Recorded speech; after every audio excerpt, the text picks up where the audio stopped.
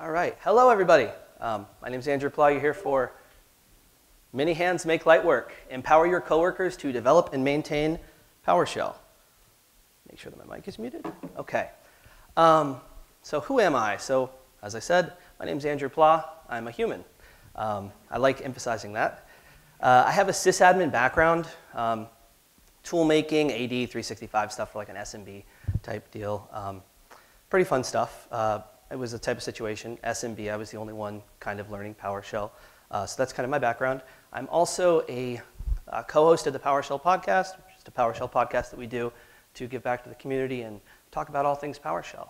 Um, and this is a bit relevant. So in 2018, I won the PowerShell scholarship, um, which was a huge deal for my career, like 2018, four years ago, a bit earlier in my career. Um, like I said, a sysadmin, but not really at an organization with any people willing or able to instill kind of like higher order advice, um, like what you'd see in the PowerShell community. There's a lot of people with a pretty good perspective on things, and I, I didn't have access to that at work, but I was I ran across a Don Jones tweet on Twitter where he was mentioning that there was a scholarship program for people who uh, are interested.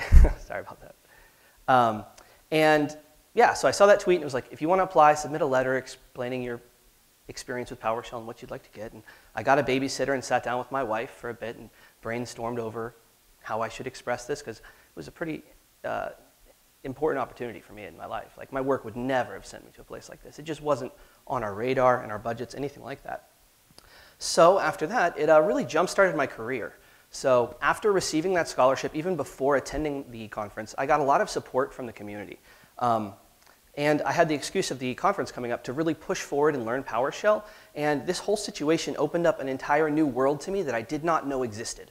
I had no clue that any of this type of stuff ever existed before being exposed to the PowerShell community and receiving all that support. Um, so whenever I got started, I just dabbled. And as I took more risks and did more, I felt like I belonged and had a sense of belonging in the community. And it was really impactful to my career to be part of something bigger than myself and bigger than just being a sysadmin at a small place. Yeah, so during that process, I received a lot of mentors, right? So they announced that I was the scholarship winner, and a lot of people reached out to me and were supportive. And when I'd, I, I had multiple people I could go to um, as mentors, um, I received help from all different types of people. And you know that, that saying, you stand on the shoulders of giants. And I am very much so uh, a result of that in a very tangible uh, way um, in the PowerShell community. I'm very thankful for that. Um, yeah, having that support system uh, in my journey, it played a huge role. Uh, from being able to face my fears and speak at the, uh, do a lightning talk at the first conference that I got the scholarship to, I wouldn't have been able to do those things without just a little bit of support, just a little bit of encouragement, and the safety that having a community like this creates. And that safety is quite powerful because people are willing to take risks if you give them that safety. Um, and ah, oh, it's been such a fantastic journey to go through. So without these people helping out and teaching me, I would not be where I am today. Um, thank you so much to the support of the community. I felt, safe, I felt safe to take risks and make mistakes. Um, and once I really had that sense of safety, I was really able to grow. I had reasons to push forward and really learn PowerShell and take it a bit more seriously. Um, yeah, it was awesome. I'm very appreciative for that. So moving forward, uh, back in 2018, I met a certain someone, that fellow over there, Jordan Hammond. Um, met him in 2018. I was a fan of his. He does some YouTube stuff, and I now, four years later, officially work at PDQ, um, which is a big deal for me. It was a job I really wanted, and it's really cool to kind of come full circle. Thank you to PDQ for sending me here.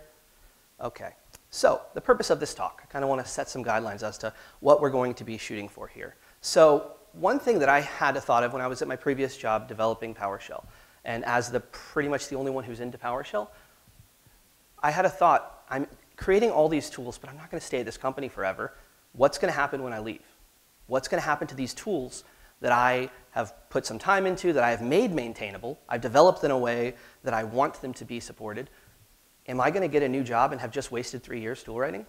Are all my tools going to die as soon as I leave? That, I didn't like that situation. I didn't feel comfortable spending time automating things. Like I was getting paid to do it.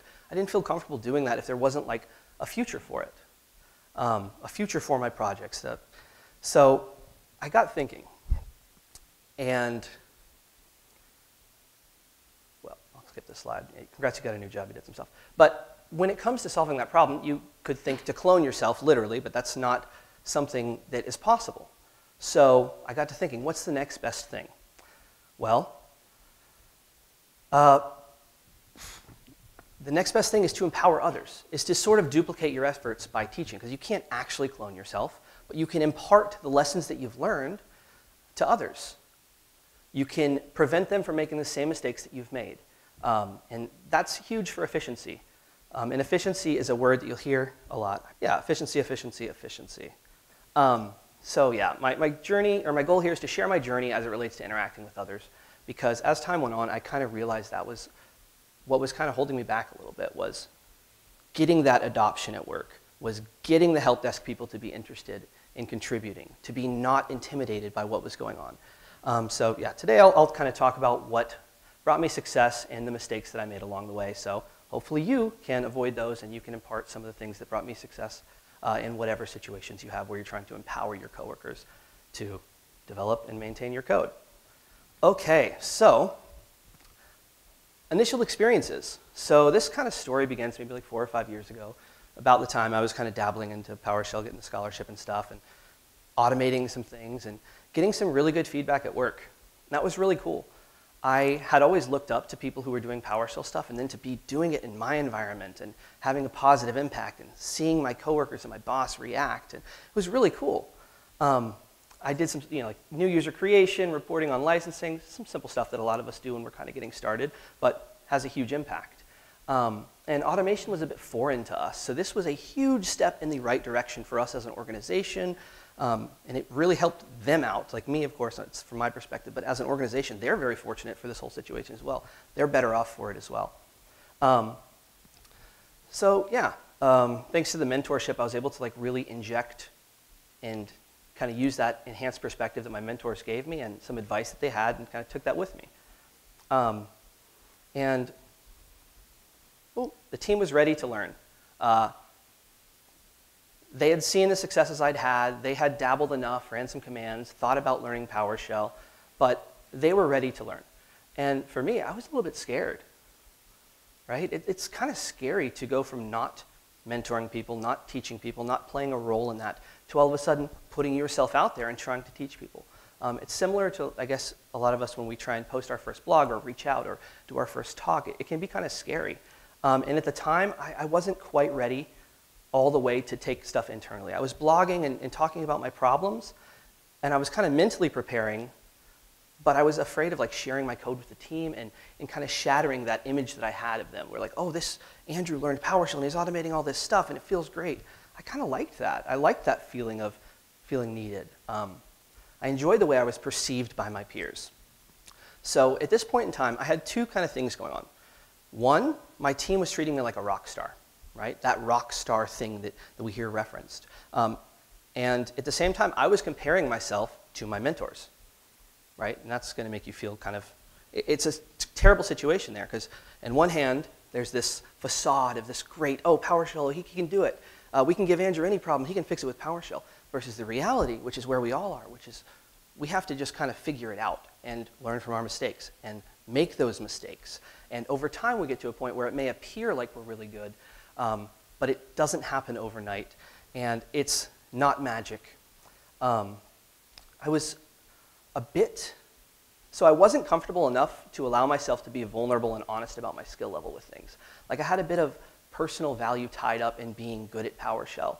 Um, I have lots of valid reasons, as we all do, to kind of be afraid of failure, right? Because a lot of times in life, we have a lot of experiences, particularly earlier in life, hopefully not so much at work, where we fail and there's a consequence that's quite negative. And we have to kind of unlearn those. And, and it's okay that that takes time and we don't instantly have that. Um, and I, through this process, I kind of realized a lot of those things. Um, and being in that spot where I'm kind of stuck here, they have this image of a rock star here, the reality of me just being a human, oops, sorry. Um, the support and the mentorship and just the guidance, just the reassurance, just the, hey, it's, you're doing a good job, the community that I felt, that uh, was enough to make me feel safe enough to kind of push out of the spot and kind of experiment and, and have um, the security systems to be able to do that. Um, now, at the time, I didn't necessarily know how much value I had as a person, except for those skills and contributions. I didn't know that I was fundamentally had value as a human just for being there and trying. I, I thought that I had to really earn all my value and appreciation from my team, which is a pretty unhealthy place to find yourself in, and it's a bit stressful as well. So, well, I guess I can go through the slides now since they're not auto-advancing. Um, so yeah, it felt good to be valued by my peers. I worked hard to gain those skills, right? I made a lot of mistakes. I spent a lot of time getting better at PowerShell and investing in that. And um, that can lead you making other people think that you're performing magic, right? Because they don't know exactly how it's done, and they think that you just, poof, this magical thing. Well, it's not magical, right? It is just PowerShell. Um, and when you treat things like they're magic when they're not, it's, it's not a good situation, right? Uh, the rock star life is dangerous. We know that. We know that from rock star lives, but also I think that we've kind of seen that in IT. It's, it can lead to a lot of burnout. It can put you in a, in a situation that's not always connected with reality um, because we are all humans, right? We all have needs and we all have constraints and we all have skills. Um, and you also don't want the burden of being a rock star. Like maintaining that image, not fun. Like it's much better to be a human, embrace your flaws, give yourself that flex room that all humans need to develop in life. Um, that was a pretty big one for me. Like, I, I feel like I've seen this in other people as well uh, through their process, where there's a lot of people who they're the one-person show at work, and um, it can feel really good to, to be there. I know it, it did for me at least. Um, but what we should strive to do is instead of hiding the truth of the situation, share it with them. Um, it is unwise to make it seem like skills are unlearnable, because they're not. We learned them all. We were not born with whatever cool skills your coworkers appreciate. We had to work and learn and step by step get there. Um, and at the time, I wasn't really connected to that or understanding that that's kind of how it worked. Like, I really was just thinking that, oh, yeah, these people who are in this place that I want to be are just different. They just have something inherently. Like, yeah, they must just be special compared to me. Um, but that's not the case. And yeah, this approach that I had, it led to the team uh, being hesitant, and it made PowerShell seem unapproachable. So while it worked for my ego to feel really good, it also created this situation where I had tools that were really cool, but my team was a bit intimidated to contribute to them. And that's not fun. Right? When we write PowerShell, we want to share it with others. Um, we don't want to just lonely contribute it. We want our tools to be used and appreciated. And the way I was conducting things wasn't conducive to that. That wasn't encouraging other people to get involved and contribute to my projects. Um, but at the same time, I, I did learn some things. Uh, and that's, that's kind of the point, right? We try and learn from our mistakes. But as time went on, um, and I made those more mistakes, I would share those mistakes with my team, right? In an honest way, highlight in whatever process I'm doing or whatever thing that they're looking at me for, highlight the times that I messed up or the silly mistakes that I made or the 10 minutes I spent troubleshooting something that was silly and obvious and the same kind of thing that everyone does all the time. But when you don't have that perspective and you don't know that you're not alone, um, I know for me, I would think, oh, I'm just dumb. I just can't figure this out. And it wasn't until I heard from a lot of people in the community and others that, oh, wow, it's not just you. We all have these similar things in common. We all have similar struggles. Um, that was a huge one for me because I was like, yo, if we're all the same, we have, we're just humans and we can all do this, well, that means I can do it. And if I can do it, that means really anyone can do it because if I'm not special and they're not special, well, then what I've done and what I achieve is also replicatable with someone else if, if I can kind of equip them with some of the similar tools. And that is very exciting and very efficient. I mentioned efficiency earlier, but when you can do that one time, that's awesome, that's one person. But you do it again, and maybe you empower them to the point where they're ready to start teaching others. And that, this is from my perspective, like me teaching one person. But in reality, I'm part of this community where there's people who have taught me, who have taught them, who are still teaching me. And it's just such a, a fantastic way, and to me, it's a very nice positive feedback system. Um, so yeah, I learned to share my mistakes with the team, honest ways to help break down the rock star image and highlight the truth of the situation, right? The truth is that it's not a rock star thing. The truth is that we can all do it. Um, and we don't want to scare them away by highlighting things that seem unapproachable. Encourage, not discourage. And they deserve your support. And support is such a huge thing.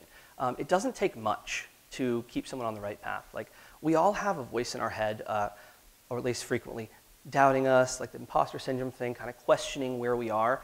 Um, and if you can have a bit of external reassurance and safety and community, it can play a huge part in empowering someone to share the same message that you're trying to spread, um, which means less work on your part long term and higher impact.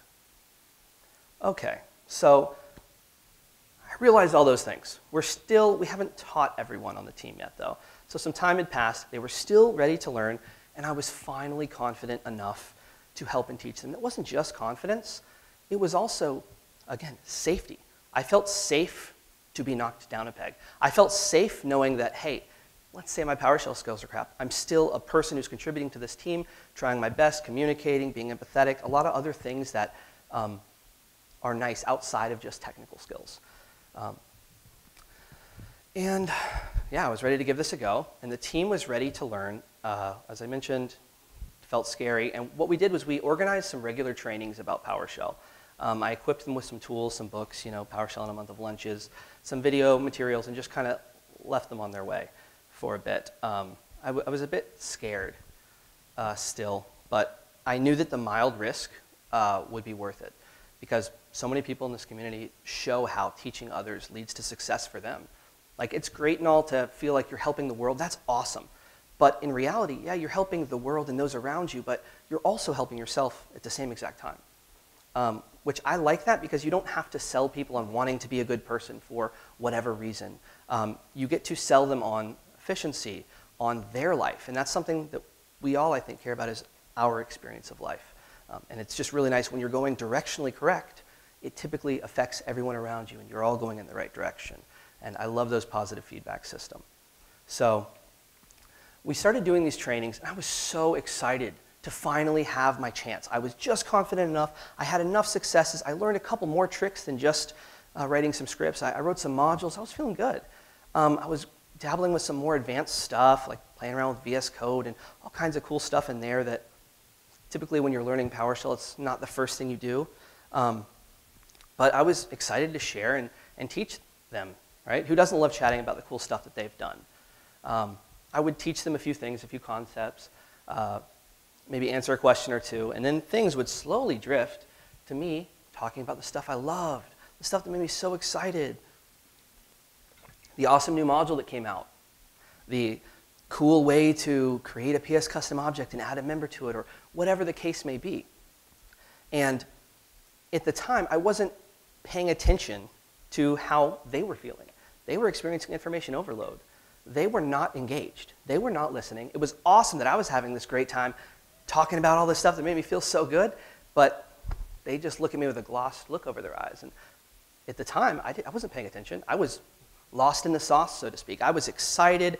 I was, oh, it's PowerShell, but I wasn't connecting with them or listening to them or being receptive to what their body language was telling me, which is a big deal because that can kind of put a division between you and someone else. Um, so, yeah, I, went, I ended up going too fast too soon, and this was definitely a mistake by me that I, have learned from since. You don't want to overwhelm people. Um, it, it's also quite helpful to communicate with them and understand what they're hoping to get out of a situation if you're teaching them something. Um, but yeah, so this led to them not getting the most out of things and me feeling like things weren't that good either. So I decided to kind of slow it down and move on. So I kind of stopped the trainings. Things kind of slowed down and died down like they do. We miss a meeting, we kind of stop. They're working on a project, whatever it is. Um, but they were armed with their own resources, and I got busy on some stuff, and it kind of fell off. But they were at the point where they could navigate PowerShell and create scripts, and kind of that simple beginner area where they're kind of starting to dabble a little bit. Um, and this wasn't perfect. Like, I just mentioned a mistake that I made with these interactions. But it was still a net positive. Like they were still in a better spot. We had something started. So even though I didn't do it perfectly and I could definitely do it better and I have done it better since then, I'm happy that I started. I'm happy that I took that chance. I'm happy that I gave myself the opportunity to make those mistakes to then learn from it. If I never started, that wouldn't have happened. And so, you know, the saying, don't let perfect be the enemy of good. Um, it's very important to just kind of get started sometimes. So, uh, sometime later, I don't know the timeline, maybe a year or two or something, we get a computer science graduate. He's finishing up his degree um, and is a Linux background, but is PowerShell curious. So open-minded, not kind of locked down, interested in learning.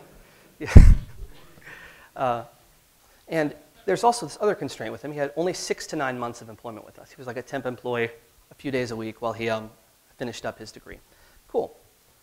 Uh, he was doing help desk stuff and kind of helping out, but he wasn't really enjoying it that much. Kind of wanted to get involved in some code stuff. Understandable. So I was working on a project to create an API module. It had like a ton of endpoints and stuff, and for me it was a really cool project, and I needed help writing some of the endpoints.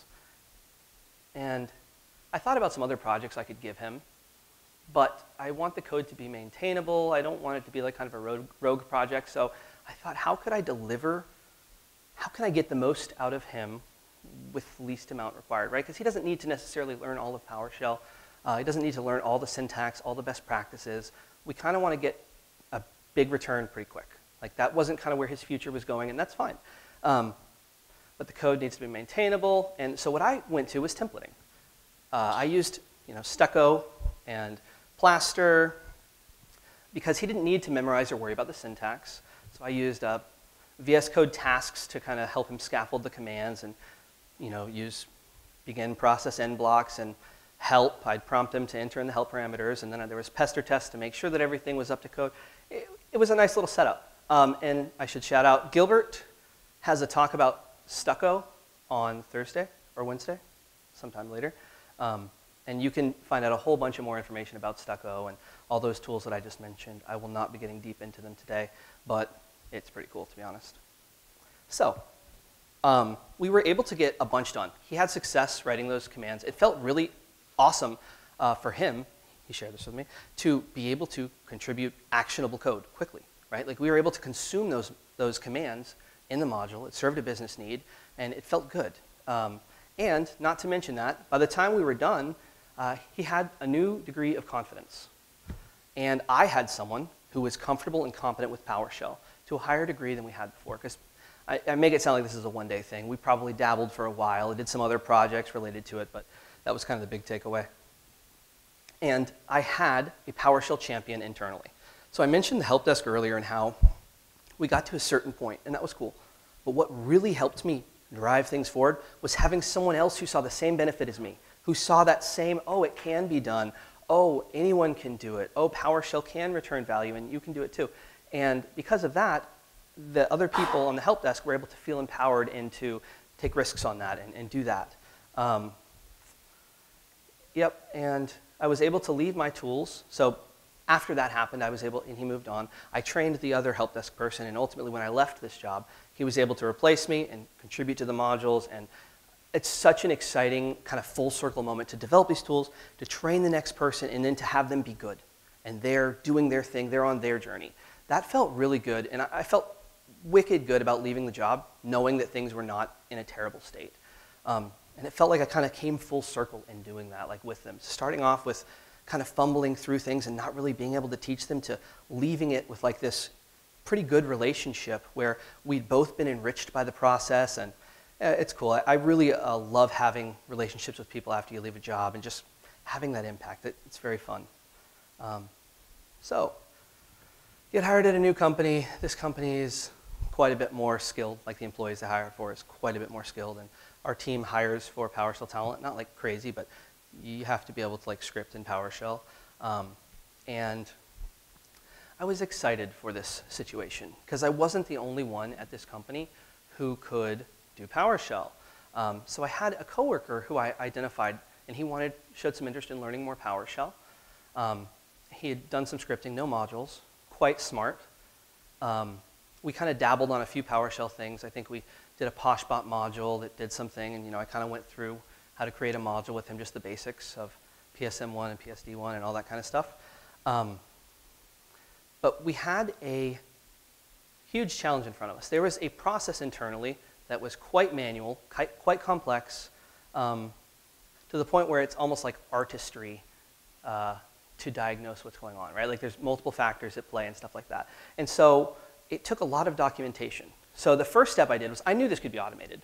I didn't have the time to like figure it all out at once, but what I did was I started slowly documenting the problem and documenting the process and what we would do if this happened and what we, just kind of getting a feel for the situation and documenting the process as well. Um, because worst case, you know, you're better off for documentation, even if you can't automate it. You can automate what you can, but I love documentation. Okay. Um, so I mentioned we did the Poshbot plugin, and um, yeah, so once I had the documentation and a good grasp of what the problem was, uh, I figured that this was a good situation to give to someone else, to give them that confidence that I mentioned in the previous story. To have a champion, to have someone who sees things through a similar perspective as me, who's willing to kind of, through their experience, confirm what I'm trying to convey upon my team, like PowerShell tools are awesome, we should develop more, we should contribute, we should you know, get to a better level where we're all contributing uh, to PowerShell. And um, so yeah, I gave it to him, or I didn't give it to him. I, we worked together through the problem. There was a lot of pair coding, um, a lot of explaining how to approach the problem. But ultimately, I only wrote a couple commands in it. And he did all the coding for it. And that was, at the time, his huge, uh, largest like PowerShell project ever. And it saved a ton of time for our team. It was a huge win, like not just in our team, but in the organization. It was a big one. It was mentioned in the meeting and a big, uh, like all hands. It was, it was huge for us.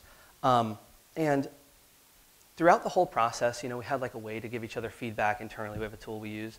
And consistently, he would talk about how it was the most enjoyable stuff he's ever done at work. It was the most gratifying. He's never enjoyed things more than that. And that was so freaking awesome to me. I was like, yo, I'm having an impact on someone's life? That's cool. That's way cooler than this code stuff. Like, that's real life. That's as big as it gets. There's nothing cooler than that.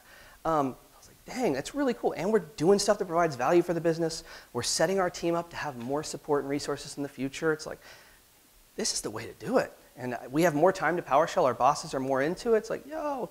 Um, but one thing I did was I really made sure to let him have his win. Let him take that win. I'm not here to stand next to you and say, hey, I did all this. No, enjoy that. Let that be part of what uh, sets up your perspective to tackle other things. Um, and it just felt amazing to be part of that. We got a bunch of recognition, and it was, frankly, an awesome tool. And again, he had that confidence. Yay. Okay, I mentioned it before, and it is so important, I believe. Creating safety. Um, so safe environments encourage learning and risk-taking.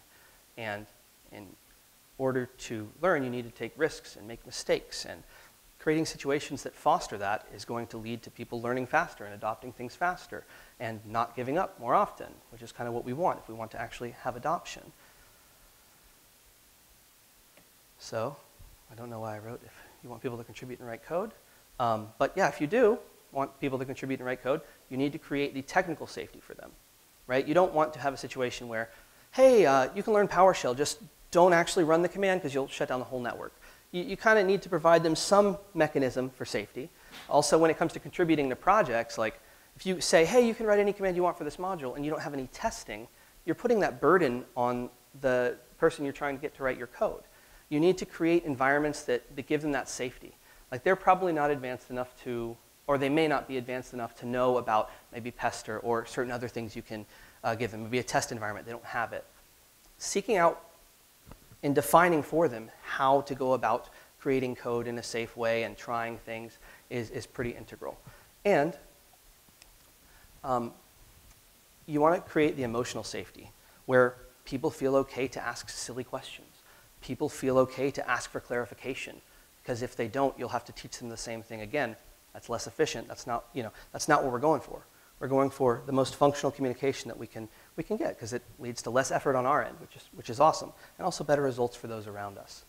Um, so, boom. Uh, and in your own life and in my own life, a huge part was creating safety for myself. And one thing that is important for me to remind myself of is that we actually all deserve that safety, right? If we're not feeling safe in life, that's against how it should be, and we're not going to be able to do our best work. Um, so, this talk is a soft skills talk, um, which I'm not a huge fan of that term because I don't feel like it's as accurate as it could be. Um, I prefer the term meta skills because there's nothing soft about them or easy about them. Um, and so at a certain point in my journey into this whole PowerShell thing, a year or two, you know, it's the PowerShell and DevOps.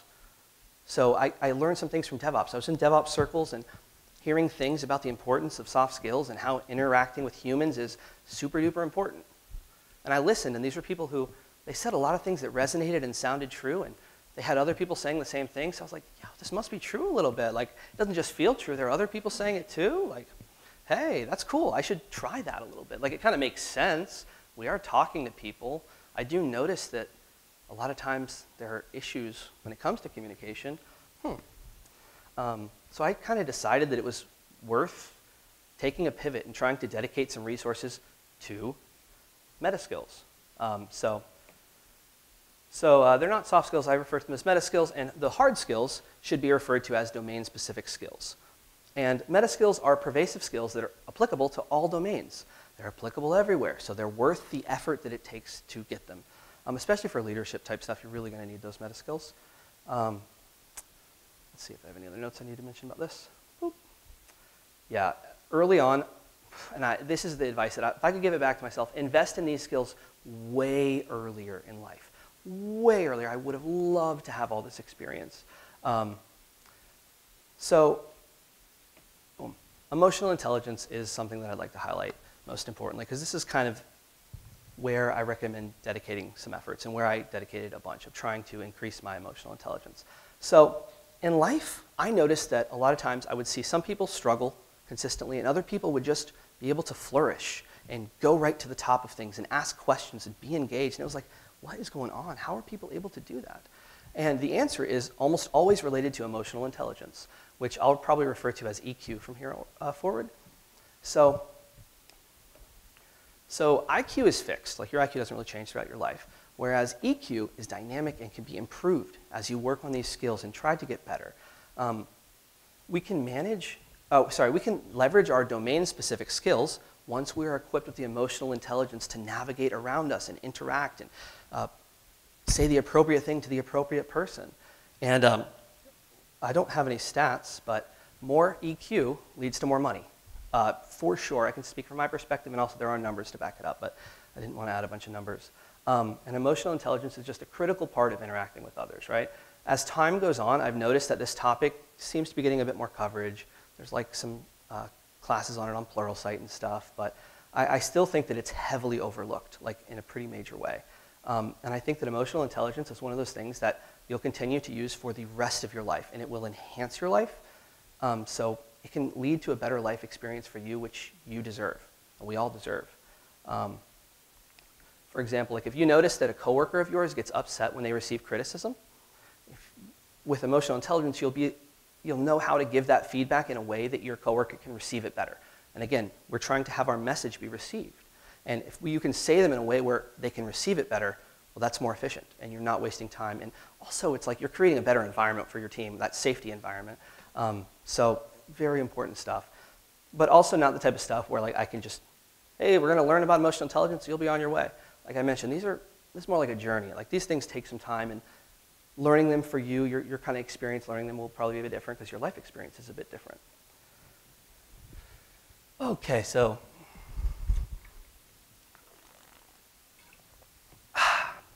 Okay, emotional intelligence is about deeply understanding your emotions so that you don't become overwhelmed by them. Um, in the story earlier, I mentioned some instances where my emotions kind of were leading the way, um, which is, I think, pretty common with a lot of things. So, what are the components of EQ? So, there's self awareness, which is the ability to understand your own feelings and behaviors. So, in my stories I shared earlier, my lack of self awareness caused me to rush into things headfirst just because it felt good. I was clouded by that excitement. I was lost in the sauce. I forgot to pause and ask myself if I really needed to keep overloading uh, the help desk people with information. I was just going. It felt good. I was in my space. I was focused on me and not aware. Um, next is self management. So that refers to keeping yourself in situations in which you know you'll be able to behave correctly. Um, so for me, as I learned and came to better understand myself, I identified what types of situations work best for me and I sought those out. So for me, I'm pretty good at working with people and getting them started on projects. Um, it's just what I'm best at. And putting myself in those situations repeatedly led to me having a lot more awesome situations for me, right? Being, putting myself into situations where I was going to flourish. Um, also, with that safety thing, creating safety for myself when I needed it. Whether that be telling myself, hey, if this blog post doesn't reach anybody, totally fine. If there's 10 mistakes, totally fine. Giving myself that like little blanket of like, there's some deep fears perhaps or some other experiences. Let's just toss a little bit of a safety blanket. We're going to be all right. We're going to keep it moving and keep making some more positive experiences. Um, next is social awareness. So once you understand your behavior and feelings, you'll better understand how to read those around you. Um, so after being more aware of things, it's much easier to deliver my message to people in a way that works best for them. Instead of just saying what comes to my head and feels right to me, I was able to cater to them. Um, and a big part of that for me was noticing body language um, like and actually paying attention. When people were looking rejected or looking not interested, actually responding to that. Um, yeah, that was a big one. Seeing when people look shut down, you shouldn't keep piling on top. Um, definitely, definitely very important there. Uh, and then the last one is relationship management. So I found that as I kept working on things, I was able to have better relationships with people because I wasn't seeking validation from them. And in your pursuit of emotional intelligence, don't forget to extend the kindness, forgiveness, love, support, empathy, and safety that you would extend to others, right? We're talking about extending this to others, but you should first extend it to yourself because it's not really sustainable to do it the other way. Um, yeah, earlier when I received validation from others while also not giving myself the credit that I deserved, uh, it's just an example of the dysfunctional outcomes that can happen when you seek things externally that are not present internally. Uh, kind of a weird distinction. I know we're getting a little bit deep, but for that, it's very important, I feel. Um, and for me, I've had a bit of a complex life earlier, uh, and I found that like just reading a book about emotional intelligence wasn't enough to help me get through the struggles I was experiencing and like just the kind of confusing things I had going on inside. So for me personally, I found uh, consulting a professional, like a therapist, was super impactful, humongous ROI in my life, huge, highly recommend it. Um, even if you don't have like a tumultuous history, uh, it's quite worth it just for the performance benefits. Like you, it's really nice having an expert be able to advise you and provide advice because humans typically are pretty bad at providing advice. Although we're quickly willing to do it, it's usually not very good. Um, so I definitely recommend that. Okay, so that sounds cool. I've said a whole bunch of things, a whole bunch of emotional things, um, and it's kind of just some feelings. There's no real direction. Where do we go from here? Well, the best place to start is with you. So no matter where you are, perhaps you're quite emotionally intelligent and you're feeling the benefits of that and uh, you're, you're great on your journey and you're feeling awesome about it, um, it's still worth it to start on you. And if you're good, awesome, you can kind of proceed from there. Um, but you should definitely fill up your bucket before trying to fill up the bucket of those around you. Like you hear on the airplane, if you flew here, put on your oxygen mask before helping those around you. It's so important. We are trying to to move forward and learn and grow and be efficient. But if we do things in a way that's not sustainable and they come crashing down a little bit, that's just not what we want. So let's make sure we're taking care of ourselves. Um, it seriously is so important. Um, yeah, and it's a little bit dysfunctional to try to give to others without giving to yourself first. Um, it's unsustainable. So self love is a sustainable and renewable resource, whereas external validation isn't. And it's so, man, as soon as I started giving this kind of like kindness and appreciation to myself, I found like weirdly, I was like, yo, I'm able to like learn a lot faster. I'm like able to be like a lot less frustrated at myself and at life and like move forward. And to me, that was freaking huge. Like, you know, as humans, we go through our whole life experiencing things a certain type of way. And to have that perspective change a little bit for me from something like just being kind to myself, just being as kind as I would be to a stranger, just like do that to myself too. It's like, dang, that makes sense. But uh, applying that to my life was humongous. And also take care of yourself because you deserve it. That's a phrase that I really love hammering into myself because I didn't always believe it, right? That I deserve to be taken care of, I deserve safety, all these things. Um, but by saying deserve, I love that word because it's true. We really deserve to be safe. We deserve to be taken care of. That's our state that we do best at as humans. Um, and I hope that you can seek out those. So embark on your journey, take risks, make mistakes, find your purpose and your way to contribute. Um,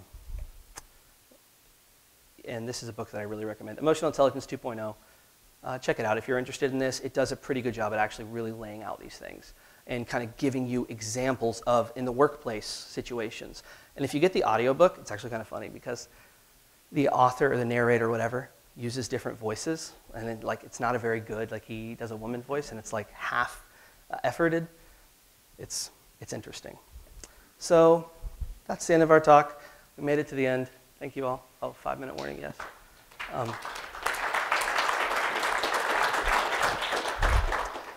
are there any questions? I imagine it would be a kind of a to go from the deep emotional to just, oh yeah, let me just switch over. But um, well, it kind of depends on who your team is and kind of where you are. Um, but one, I, I look, it, it, like if they're just, if you just see like the non-genuine smile staring at the screen. Um, also, frankly, just talking to your team and, and, having these conversations in a kind way where you're not like rude about like, hey, uh, you're rambling in the meetings. You, you can approach and give that feedback in a way kind of catered to them that would, you know, give them a chance to maybe be more self-aware because a lot of people have no clue. And a lot of times I've noticed that in life, if someone is doing something that's like kind of fumbling around and affecting other people, they don't say anything. There's not like kind of a kind feedback like, hey, have you noticed that this is kind of maybe not having the effect that you've wanted? Um, and I think that if we can find out ways and get better at giving that kind of kind, constructive feedback to others, I think we can find a lot more positive outcomes a lot quicker. Right, right. So ask questions before diving into feedback. Great. What was the Ted Lasso quote so I can repeat it? Be curious, not judgmental. Great. I think in a situation where you have someone who's kind of giving up, like it may not be ready for them right now, but as long as you kind of keep that space and that opportunity up for them, um, should be good to go. Um, in the future if, if they do find themselves in a place where they're more ready to take that risk and go forward. Because you never know in life, it can be pretty complex and it can be hard to learn new things and do new stuff. But thank you everybody for coming. I got to stop it here, so thank you.